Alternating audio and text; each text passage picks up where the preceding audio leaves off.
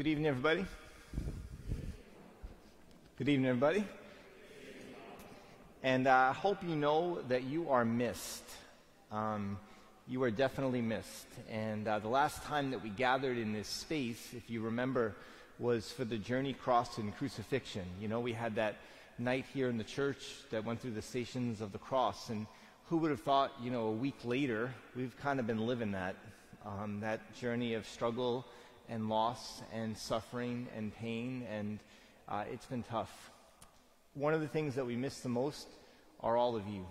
Um, that coming to pray on those Monday nights and to learn and to share faith and to do service uh, was a great gift to the parish. Never mind, I hope, a good thing for you and for your families. And so, you know, we'd all be fools to say that it's not different. Things are a little different these days even when it comes to faith formation this year. Things are going to be a little different.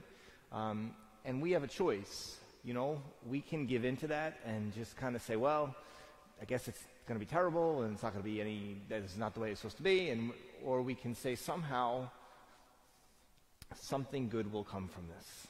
And that's my hope and my prayer tonight. So we begin level eight faith formation. And this will be one of the times that we gather in person. Um, and hopefully maybe in the you know after a certain time and maybe things will loosen up a little bit and it'll be in a safer place and we can even have more of those opportunities to come together in person.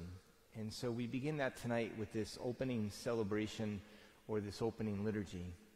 Just some things about how we pray now so that you know okay? The first is that we need the presider um, the per- like me and when we celebrate Mass, we don't wear a mask um, when we leave prayer. So we generally stay up here. Okay, so um, I'll always kind of have that space from you. But during and when the ministers read or, or sing, they don't wear their masks just so that they can be heard. But I would ask you and just tell you that anytime you come to church at St. John the Evangelist, for now, anytime you're in any of the buildings of St. John the Evangelist, you have to wear a mask. And if you're like me, you can't stand them. But we do it for the good of the other. And so uh, remember that your mask has to be on the entire time and has to cover your mouth and your nose. When you come to Mass on Sunday, um, hopefully you're doing that or you can be open to doing that. You do the same thing. You wear your mask the whole time. You can only come in those doors, sanitize your hands, and the only time your mask comes down is to receive Holy Communion. Um, and again, we do that just to keep everyone safe. After the prayer service tonight, it's not Mass tonight. After the prayer service tonight, um, when we're dismissed, I just would ask that everybody leaves through the side doors, okay? I'm pretty sure the lights will be on by the time you leave. You're all reminded of me to change the timers. Um, so we'll, you'll go, everyone exits out the side doors at St. John's whenever we gather in the church. Um, and after every service, we have to clean all the pews. So, good news. We have this, the light just came on. Um, we have the spray bottles and the towels, okay? We just need your arms, all right? So maybe after the prayer service, if a few people could stay, we can just wipe down all the pews so that they're clean for tomorrow morning when we have daily Mass and the celebration of the Eucharist then. Okay? So we come together to pray. We begin another year of preparation for confirmation, a different year, but good things come even in the most difficult of times. That's the story of our salvation. It's the story of our cross. So let's uh, prepare ourselves tonight and uh, really be open. And you know the things that we need to do. Make sure your phone is off, okay? Um, and just put that stuff away. And uh, let's just ask the Lord to help us to be open, uh, open to His presence and to the many ways that He wants to make Himself known to you and to me.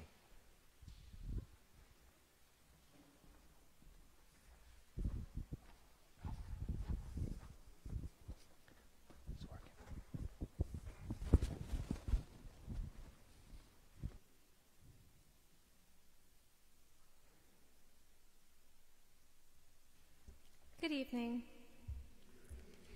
Before our prayer service begins, I would like to go over some music with you that we'll be singing tonight.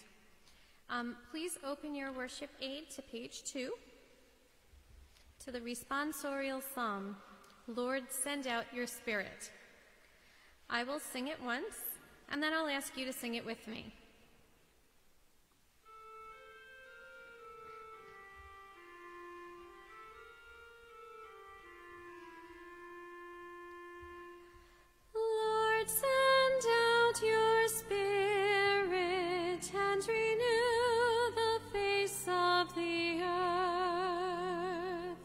Sing it with me. Ready? Lord, send out your spirit and renew the face of the earth. Now, I'm pretty sure the only reason why I couldn't hear you singing is because of those masks. So we're just going to have to try a little harder to raise our voices to the heavens. Let's try that again. Ready? Here we go. Lord, send out your spirit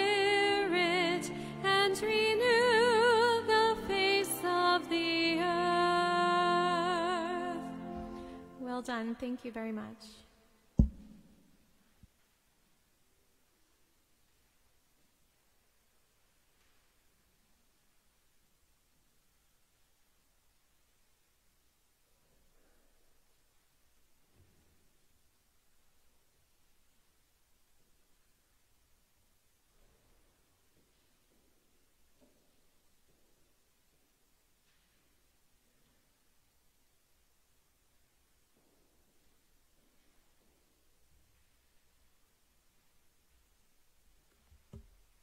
Good evening again, and welcome to St. John the Evangelist. Before our prayer service begins, please turn off all cell phones and electronic devices so as not to distract from our worship. Tonight, we gather to celebrate the Level 8 opening prayer service as the eighth graders in our parish community enter their final full year of formal preparation for the sacrament of confirmation. All of the music for tonight's prayer service can be found in the worship aid provided for you tonight. Now let's stand together and join in the refrain of our entrance hymn, Send Us Your Spirit.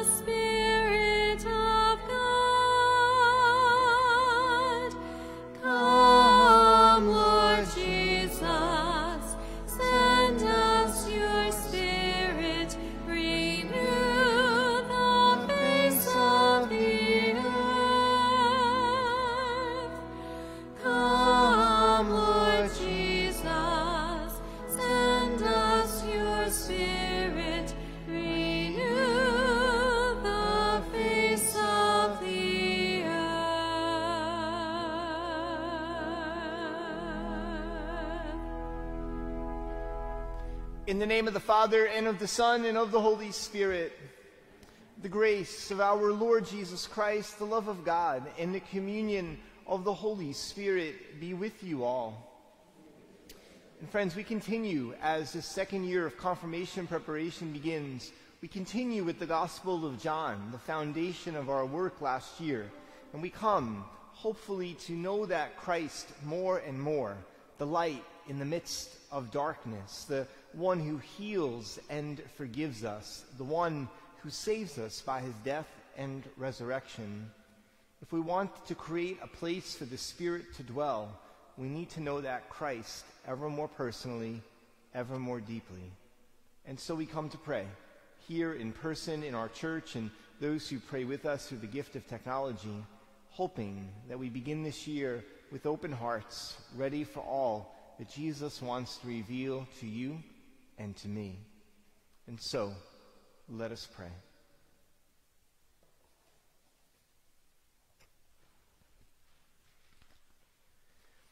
O God, who've taught the hearts of the faithful by the light of the Holy Spirit, grant that in the same Spirit we may be truly wise and ever rejoice, and never rejoice in his consolation. Through our Lord Jesus Christ, your Son, who lives and reigns with you in the unity of the Holy Spirit, one God, forever and ever. Let's be seated as together now we listen to God's word.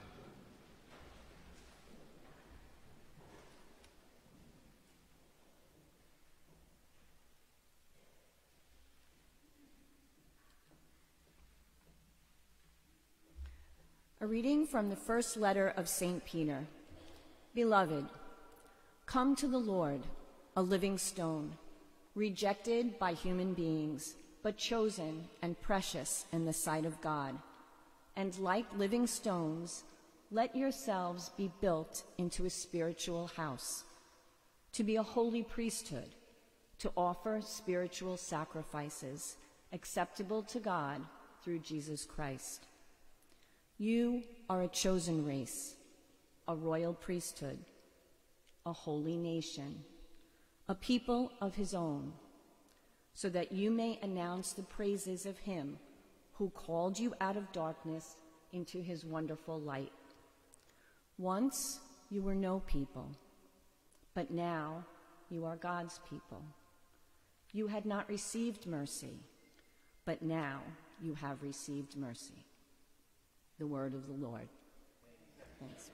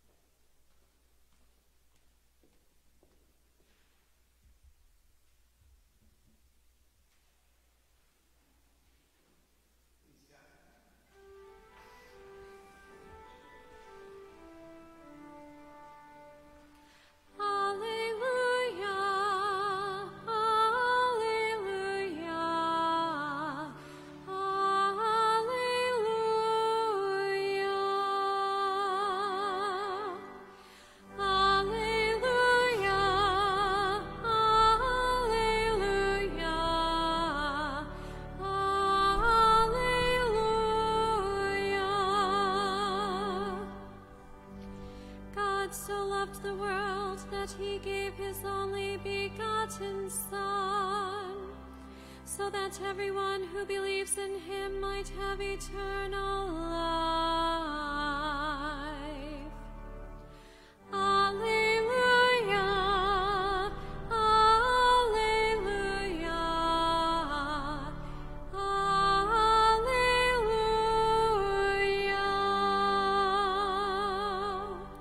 The Lord be with you. A reading from the Holy Gospel according to John. Jesus said to his disciples, If the world hates you, realize that it hated me first. If you belong to the world, the world would love its own. But because you do not belong to the world, and I have chosen you out of the world, the world hates you. Remember the word I spoke to you no slave is greater than his master. If they persecuted me, they will also persecute you.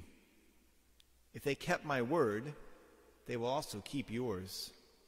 And they will do all these things to you on account of my name, because they do not know the one who sent me. When the advocate comes, whom I will send you from the Father, the Spirit of truth that proceeds from the Father, he will testify to me. And you also testify, because you've been with me from the beginning. The Gospel of the Lord. Please be seated. Could I just make a request uh, before we begin the homily? I know it's a stressful time, and if uh, we just need to use our phones if there's an emergency, can I ask you just to go out into the lobbies um, rather than using your phone uh, in church, if that's okay. Um, we all have a lot of stuff, and I know these days more than ever we're, we're nervous. So if you need to use your phone if there's an emergency, just ask you to go in the fellowship area or to go outside um, the side vestibules as opposed to using them during the prayer service. Thanks. You know, uh, one of the jobs I have, besides being the pastor here, is I have the privilege to celebrate Mass in jail. Now you might say, Father John, that's really a privilege? Actually, it is, because no one ever comes late, no one ever leaves early, and if anyone gives me a hard time, there are people in the back with weapons to keep me safe. So it's pretty good space. But one of the things that I am uh, always fascinated by when I celebrate Mass in jail are tattoos. I am fascinated by them. And I, some weeks when I celebrate Mass there, I don't want to give a homily, and I just want to ask everyone to pick out their favorite tattoo and explain it to me.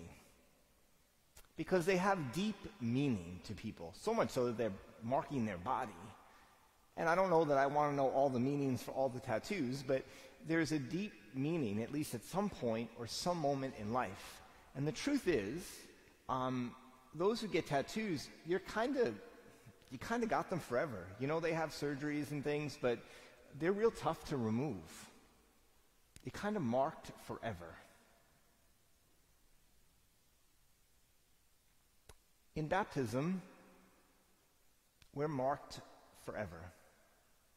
It's not a physical tattoo that somebody could see, but it's a much deeper, a much more profound, a much more permanent mark. And rather than it be something that might be seen from the outside, it's something that transforms our inside, who we are. You know, uh, I was thinking of this building, and uh, I was talking to somebody. I was in another, I was in a, a different state this weekend celebrating a wedding, and uh, I was talking to the pastor there, and he said, Tell me about your parish. And I was telling him about this building. And he had to sit down when I told him what happened. And some of you know, you know, uh, almost three years ago, uh, someone came into this building and tried to burn it down. And uh, some of you may have been here in those days, and you know the, the damage to the building, uh, to the to the inside of the building was pretty intense, and uh, it was pretty hard. But in the midst of that darkness, and it was even physically dark in here. Everything was covered with soot. We always started to see glimmers of light. And there was a time in that building process, some of you might have done this, Um, if, you, if we ever look behind these walls, you would see marks. How many people remember that? Cool. And so, uh, a few months after the fire, you know, we came in here and we invited everybody after Sunday masses and in the school and faith formation classes to mark, to mark the building, to sign the building, or to bring a prayer card or to put a memento inside the walls of the church. And they kind of tell the story of the people here. You know, I think of Father Michael. You know, Father Michael uh, became the chaplain at St. Anthony's High School, but he put a big prayer card of St. Michael the Archangel right underneath that window. My dad, when he came, when he was alive, he used to sit kind of right over there, and I put his prayer card in the wall over there. There's a, a young person I know from the school that he wanted to sign the wall over there because that was where he received Holy Communion. That was the row he sat in. There was uh, someone who wrote over there by that candle behind the wall, and he said, You know, may the man who did this not be the cause of our division, but the reason for our coming together. On the wall over there, there's a family that I know pretty well who's had a real tough road. And they're like, Father John, we want to all sign this pillar. And we all signed it together. Those marks and so many others that fill these walls they never need to be seen because their story is told in the life of faith. Their story is told in the church and our work to think of the work of St. Michael to overcome evil with good. They're told in the work of our belief that in death, life is changed, not ended. They're told in the story and the power of the Eucharist. They're told in the story of forgiveness. They're told in the story of hope, even when things seem so hard. For we who gather here, that's the story of our faith. That's the story of the cross. In dying, there's rising. That there is no pain, there is no struggle, there is no sickness, there is no pandemic, there is no violence, there is no poverty, there is no death that we cannot come through. Nothing. I think a lot of us got a real life lesson in that over these past six or seven months. Living in times that we have never seen in our lifetimes, in the midst of some darkness and some struggle and some division and some pain and some dying and some suffering. But we come through it. That's the story of the cross. And that's what we are to come more deeply into in this year ahead. We're coming to know that Christ who suffers and dies for us, and in his going, he sends us the Spirit to bring us new life. That's the hope of confirmation. You're going to be marked forever. Not on the outside, not where anyone will see it, but marked in a way that says, I know, I know there is a reason for my hope. You know, in the days after the fire here, some three or four years ago, that was the line from Scripture that we kept praying with. There's a reason for our hope. This year, three years later, we put together this cross. I don't know if you can see it. You can turn around, you can see it. And that cross was made during Lent with all of our desires and hopes and prayers. And obviously, Lent was very different this year. But when it came to Pentecost, we asked everybody to write down some reason for their hope. And that's all the colors of the blue and of the, um, sorry, of the red and the orange and the green and the dark green and the light green. All reasons for hope. And they all hang around the cross. The ultimate reason for our hope. So as we begin this year together, as we enter into this time of prayer, of learning, of preparation, of formation, Let's pray that we'll come to ever know more, know more God's great love for us. So much so that he gives us his son. He raises him to new life so that we can live.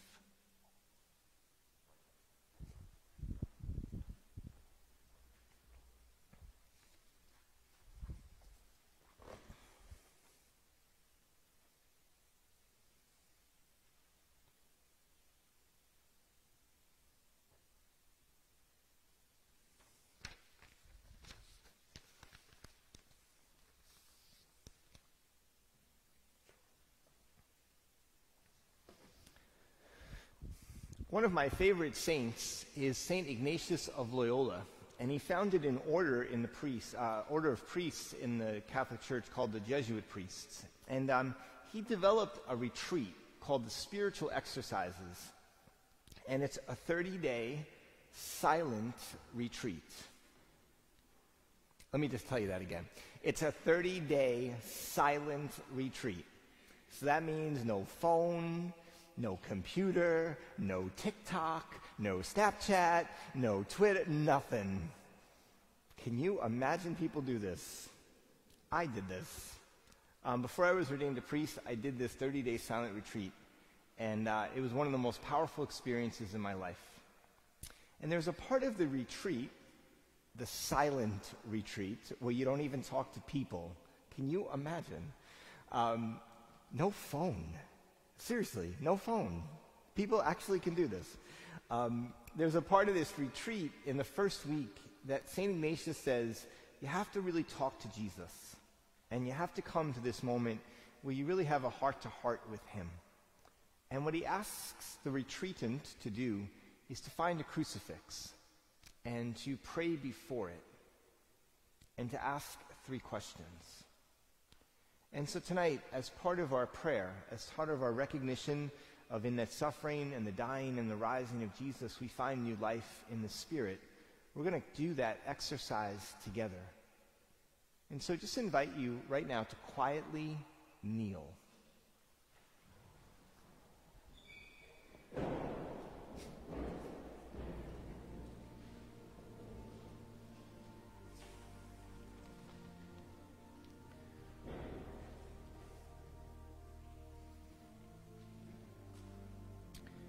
So St. Ignatius would tell us that we take some time to look at the cross.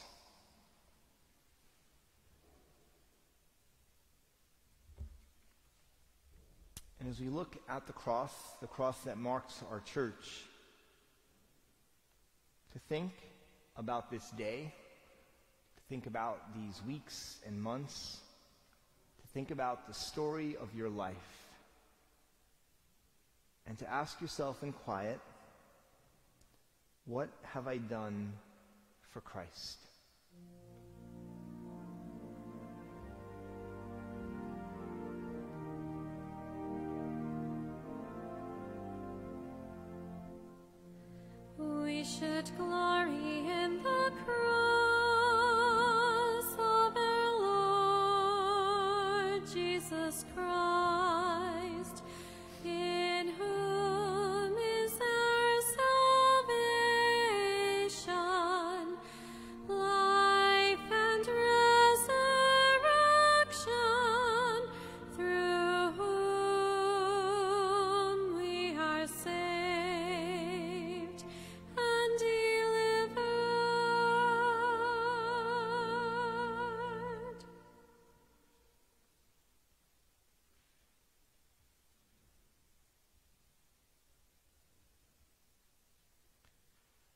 Reflecting upon the past, I think of my life now. I think of the things that I am called to do for Jesus, the ways I try to serve him and love him by serving the other. I think of the ways that I pray. Think of the ways that I'm called in whatever way I can to do everything for him in silence for a moment, I think of some of those things that I am doing for Christ.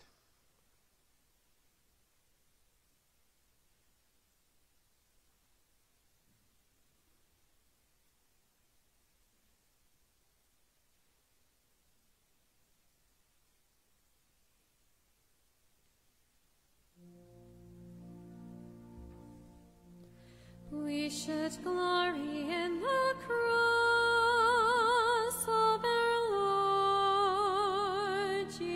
Dear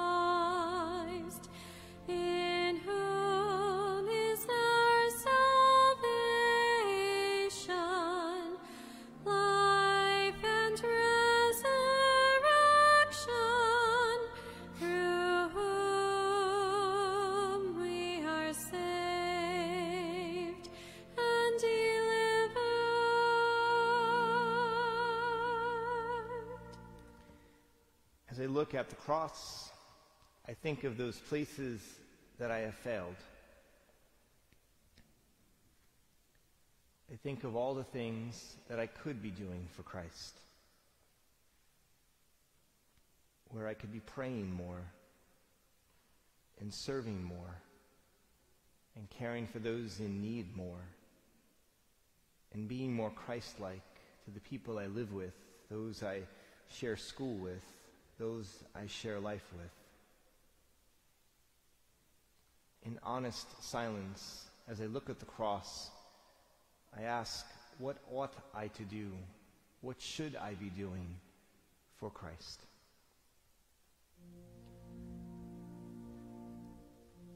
We should glory in the cross of our Lord Jesus Christ, in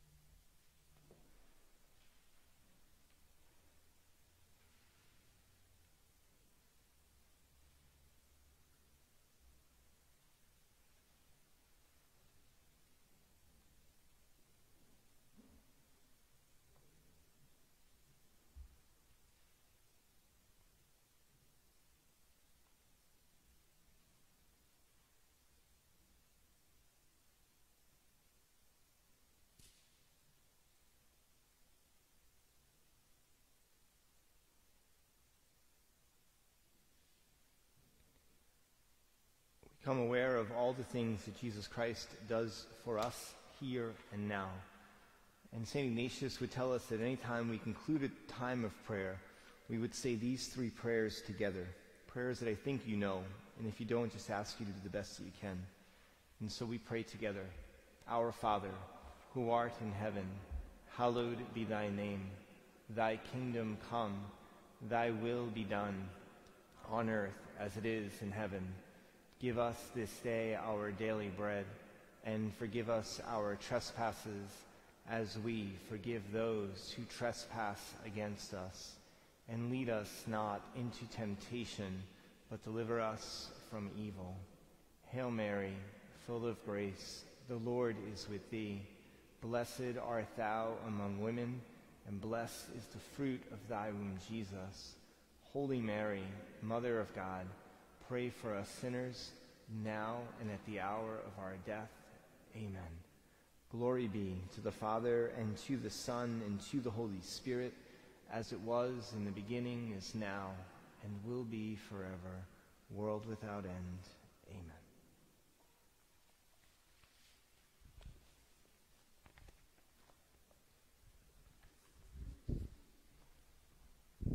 Please stand.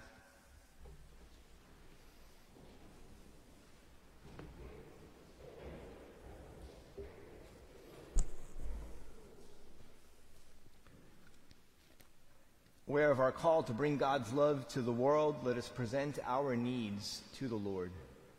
Our response will be, Lord, hear our prayer. That God our Father may reveal his Christ to these candidates more and more with every passing day. Let us pray to the Lord. Lord, Lord, hear our prayer. That these candidates may come to a deeper appreciation of the gift of their baptism, which joined them to Christ, let us pray to the Lord. Lord, hear our prayer. That they may find in our family and parish communities compelling signs of unity and generous love, let us pray to the Lord. Lord, hear our prayer. That their hearts and ours may become more responsive to the needs of others, let us pray to the Lord. Lord, hear our prayer. That in due time these candidates may be sealed with the gift of the Holy Spirit, let us pray to the Lord. Lord, hear our prayer. Almighty and eternal God, whose love gathers us together as one, receive the prayers of your people. Look kindly on these, your servants, already consecrated to you in baptism, and draw them into the fullness of faith. Keep your family one in the bonds of love. Through Christ our Lord. Please be seated. So, you know, uh, in a month or so, we're going to begin a different way of faith formation for the year ahead, and more details will come, and uh, it will be a living process. And I'm sure that as the year goes on, just as I'm sure these first weeks of school have seen, um, we will learn a little bit as we go, but we're going to do it together. And uh, the great spirit that you showed last year as we started something brand new is the same spirit we need this year as we adjust to something new, at least for a time. We are really privileged, I think you know, um, as well as I do. We had some awesome people who committed to you last year to serve as faith sharing group leaders who looked out in ways to care for you and to come to know you and not so much worried about teaching you facts, but more about helping to, you to know that you're loved by God and part of a great community of faith. And we're really blessed tonight to have so many of those faith sharing group leaders, those catechists with us tonight um, who come to begin this celebration with you begin this year of celebration and work and formation with you, um, and who have who are going to make a lot of great strides in terms of doing some new things um, in an effort to be present uh, to all of you. We're really blessed that so many of them have returned, and uh, that's a great testament to all of you. And I know uh, that gratitude tonight extends to all of them and to all of our faith formation staff and Michelle Paraglia, who, you know, like any leader of an educational thing, has got to adjust to a million things. And uh, tonight to Andrew and Stephanie for allowing us to pray um, so well. I hope that you have a crucifix in your house. And if you don't, you should get one. And if you can't get one, call me and I will get you one. And I would suggest that those three questions every day what have I done for Christ? What am I doing for Christ? What should I be doing for Christ? might just help you to stay on the right path in these days that can be overwhelmingly hard and difficult. So just uh, conti- ask you to continue to think about making that exercise, to look at a cross every day. It could take one minute. It doesn't need to be all with the lights and the kneeling and all that. It could be very, very simple. And allow yourself to just draw closer and closer to the God who wants to be so close to you. We're going to leave after the closing hymn. And I would just ask that you stay in place and we'll kind of dismiss you by section. And that just helps us to keep some space and distance. And uh, as I said before the celebration, if you can lend us a hand for a few minutes uh, just to wipe down the pews, that would be a big help. And if you, when your section is called, um, if you would just go to the back and we'll give you a nice spray bottle and a beautiful towel. You can even keep the towel, all right? That's, that's the kind of people we are here, all right? Um, if you can help us out to clean the church, that's always a big help. Please stand.